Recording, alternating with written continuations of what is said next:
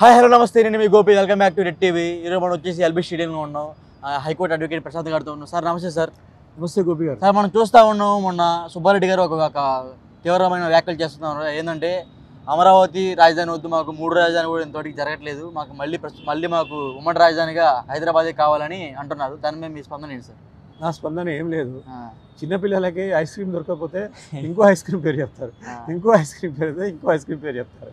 మరి సుబ్బా సుబ్బారెడ్డి గారు మన వైఎస్ఆర్సీపీలో ఇక్కడ ఉన్నప్పుడు కూడా హైదరాబాద్లో ఉన్నప్పుడు కూడా చాలా రాజకీయ అనుభవం ఉంది. టీటీడీ చైర్మన్గా చేసిన అనుభవం ఉంది. ఇప్పుడు అది ఆయనకు అది అందరి ద్రాక్ష పండు అది. హైదరాబాద్ని ఎట్లా తెలంగాణ ప్రజలు ఊరుకోరు. ఎందుకంటే ఉద్యమం చేసి పోరాటం చేసి హైదరాబాద్ని సాధించుకున్నారు. ఉమ్మడి రా ఉమ్మడి రాజధానికి ఉండాలని మన చట్టంలో తెలంగాణ రాష్ట్ర చట్టంలో విభ విభజన చట్టంలో ఉండి టెన్ ఇయర్స్ ఉండాలని టెన్ ఇయర్స్ టైం అయిపోతుంది. తర్వాత ఇప్పుడు మనకి ఇక్కడ సుస్థిర పరిపాలన వచ్చింది. మరి ఇప్పుడు మళ్ళీ కాంగ్రెస్ ప్రభుత్వం వచ్చింది చేస్తూ చేసుకుంటుంది. ఇప్పుడు అక్కడ నుండి హైదరాబాద్లో ఉన్న ప్రజలు కానీ హైదరాబాద్లో కానీ అవకాశం లేదు దానికి. ఎందుకంటే అట్ ద సేమ్ టైము వాళ్ళకు కూడా సోర్సెస్ ఉన్నాయి ఆంధ్రప్రదేశ్కి. అవును. సముద్ర తీరం ఉంది మంచి వాళ్ళకు కూడా చాలా సోర్సెస్ ఉన్నాయి. యాక్చువల్లీ ఆ కోస్టల్ ఏరియా చాలా పెద్దగా ఉంది వాళ్ళకు తెలంగాణ ఆంధ్ర ఆంధ్రప్రదేశ్కి. వాళ్ళకు మంచి రాజధాని వాళ్ళు డిసైడ్ చేసుకోవచ్చు. ఇప్పుడు అట్ ద సేమ్ టైము వాళ్ళకి విశాఖపట్నం అనేది it's a very prestigious industrial state industrial city దాని అలాంటి ప్లేసెస్ ఉన్నాయి ఇంకా. వాళ్ళు ఇప్పుడు ఆయన స్ట్రాటజీ ప్రకారము మూడు రాజధానులు కావాలనుకున్నారు వాళ్ళు ఒక ఆ మూడిట్లలో ఏదైనా ఒకటికి వాళ్ళు డిసైడ్ చేసుకుని ఉండొచ్చు. నేను హైదరాబాదు కావాలి హైదరాబాద్ని చేయాలనేది ఆయన మరి ఇప్పుడు చూడండి దేనికైనా ఈ దేన్ని ఏమైనా నిర్ణయించాలంటే రాష్ట్రాల మధ్య ఏమైనా సమస్యలు వచ్చినప్పుడు దాన్ని పరిష్కరించాలంటే సుప్రీంకోర్టు ఉంది. తర్వాత నెక్స్ట్ మనకు పార్లమెంటు చట్టం ద్వారానే అది చేస్తాం అయితే ఆయన ఏదో ఆయన చెప్పడం వల్ల అది మరి ఆయన రాజకీయ విజ్ఞతకే వదిలేస్తాం. అంటే ఆయన మొన్న రాజ్య రాజ్యసభ సీటుకి ఆయన నామినేషన్ చేశాడు సో నేను రాజ్యసభకి వెళ్ళిన మరుక్షణం ఈ టాపిక్ గురించి మాట్లాడతా అంటున్నాడు ఆయన. అదే నేను అంటున్నా కదా సార్. ఆయన రాజ్యసభకు వెళితే కూడా అక్కడ అవకాశాలు ఏమున్నాయి చెప్పండి. అది మన చట్టం ప్రకారం టెన్ ఇయర్స్ అయిపోయింది. ఇప్పుడు అయిపోయిన తర్వాత వాళ్ళకి అవకాశం ఉంది. వాళ్ళు కొత్త గవర్నమెంట్ ఎలక్షన్స్ ఫామ్ చేస్తున్నారు. ఓకేనా? మళ్ళీ ఇప్పుడు సపరేట్ స్టేట్ అయిపోయిన తర్వాత రావడం అనేది మళ్ళీ ఇక్కడ డిస్టర్బెన్స్ అవుతుంది వాళ్ళకి. తెలంగాణ ప్రజల్ని రెచ్చగొట్టడం అవుతుంది. తెలంగాణ మళ్ళీ సేమ్ అదే హైదరాబాదు క్యాపిటల్ సిటీ కావాలంటారు. తర్వాత తెలంగాణ రాష్ట్రాన్ని ఆంధ్రప్రదేశ్లో కలిపే అంటారు అర్థమైందా? మళ్ళీ. మళ్ళీ ఉద్యమం దారితీస్తుంది అవును. అయితే ఇప్పుడు ఏంటంటే ఆ అవకాశం లేదు. ఎందుకంటే ఇప్పుడు చిన్న రాష్ట్రాలు ఏర్ప ఏర్పడాలి. ఎవరి రాష్ట్రాన్ని వారు పరిపాలించుకుంటే పరిపాలన సౌలభ్యం ఉంటుంది. సమస్యల మీద రాజకీయ నాయకులు ఒక ఏకాగ్రతతో పనిచేసే అవకాశం ఉంటుంది అన్న ఉద్దేశంతోనే అంబేద్కర్ గారు రాజ్యాంగంలో ఆర్టికల్ త్రీ రాశారు. అంటే ఈ మనకు అవసరాలని పరిస్థితులను బట్టి మనం సొంత చిన్న రాష్ట్రాలను కూడా ఏర్పరచుకోవచ్చు అనే ఒక అవకాశం చేశారు.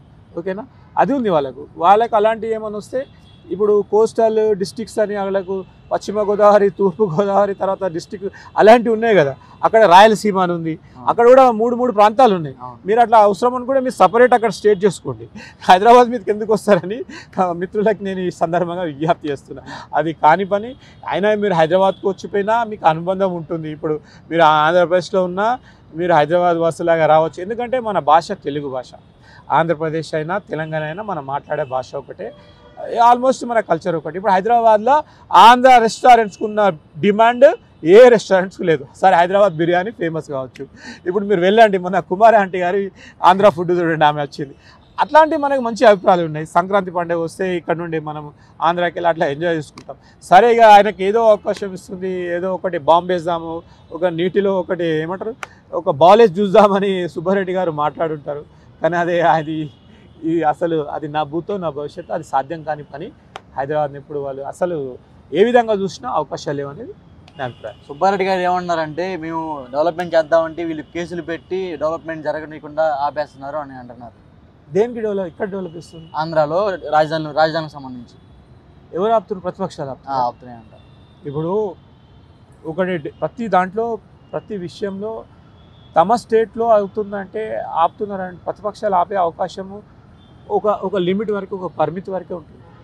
తర్వాత నిజంగా అక్కడ పరిస్థితులు అనుకూలిస్తున్నాయి. అక్కడ ప్రదేశంలో ఆ డెవలప్మెంట్ అవసరం అనుకున్నప్పుడు ప్రజల మద్దతు ఉంటుంది. ప్రజల మద్దతు ఉన్నప్పుడు ఏ ప్రతిపక్షాలు కానీ దాన్ని ఆపలేరు. ఎందుకంటే అధికారంలో అధికార పార్టీ ఉంటుంది. వాళ్ళకు అధికారం ఉంటుంది. అన్ని విధాలుగా న్యాయపరమైన అధికారం ఉంటుంది. అన్ని విధాలుగా వాళ్ళు చేసుకోవచ్చు. ఇది అన్నంత మాత్రాన వాళ్ళకు అట్లా అంటే వాళ్ళు ప్రతిపక్షాల గురించి భయపడి బ్రతుకుతారు అండి. అధికార పార్టీ ఆంధ్రప్రదేశ్లో. ప్రతిపక్షాలు ఆపుతలు అంటే చెతగాని ప్రభుత్వం. అండి మీది ఆంధ్రప్రదేశ్లో. మీరు అధికారాన్ని ఉపయోగించాలి కదా. ఇప్పుడు ప్రతి ఒక్కరూ దాన్ని ఏదో విమర్శిస్తారు కట్టద్దు అంటారు. ప్రతి రాష్ట్రంలో ప్రతిపక్షాల ప్రతిపక్షాల పాత్ర ఏంటి? ప్రభుత్వం మంచి పని చేసినా చెడ పని చేసినా వాళ్ళు ఏమో మంచి చెడు చూడకుండా విమర్శిస్తారు వద్దంటారు. అధికారంలో ఉన్న పార్టీ రాజ్యాంగ పరంగా వాళ్ళకి ఏం హక్కులు ఉంటాయి? వాళ్ళు పథకాలని ఇంప్లిమెంట్ చేయాలి. ప్రజలకు ప్రజల అవసరాలను తీర్చాలి. వాళ్ళని ఎదుర్కోవాలి. ప్రతి ఇప్పుడు కోర్ట్ ఆఫ్ ప్రతిదానికి they approach the court of law court of లాలో ఏం డిసైడ్ అవుతుంది? అది కరెక్టే ఉంది ప్రజా ప్రజలకు ఉపయోగకరంగా ఉంది కానీ కంపల్సరీ కోర్టు కూడా అనుకూలమైన తీర్పిస్తుంది. ఆ విధంగా చేయట్లేదు వాళ్ళు చేయనట్లేదు ప్రతిపక్షాలు ప్రతిసారి అడ్డుపడుతుంది. ఇప్పుడు ప్రతిపక్షాలు అనేది వాళ్ళు ఏంటిది మాసి మూసి మారేడుకాయ చేయడమే ప్రతిపక్షాల పని. మంచిని కూడా దానికి ఒక కలర్ వేసి చెడు అని చెప్పేస్తారు. అవసరం లేదంటారు. అన్నప్పుడు వాళ్ళు అధికార పార్టీలు ఉన్నారు ప్రజలకు అవసరమా లేదని అధికార పార్టీ తెలిసినప్పుడు వాళ్ళు చేయాలి. వాళ్ళు మెజారిటీ పార్టీ రూల్ అంటే అదే మరి. మెజార్టీ పార్టీ రూల్ ఉంది కాబట్టి మీ మెజార్టీ అభిప్రాయం కూడా కాబట్టి మీరు చేయాలి. ప్రతిపక్షాల విమర్శలను పట్టించుకొని మీరు ఆపుతారంటే అది మీ చేతగాంతనానికి అది ఒక తార్కాణం అది. అంటే చ- చంద్రబాబు గారికి అమరావతి ఒకటి అడ్డు పెట్టుకుంటున్నారు. ఈ వైసీపీ పార్టీ మొత్తానికి వైజాగ్ అని అనుకుంటున్నారు కదా సార్.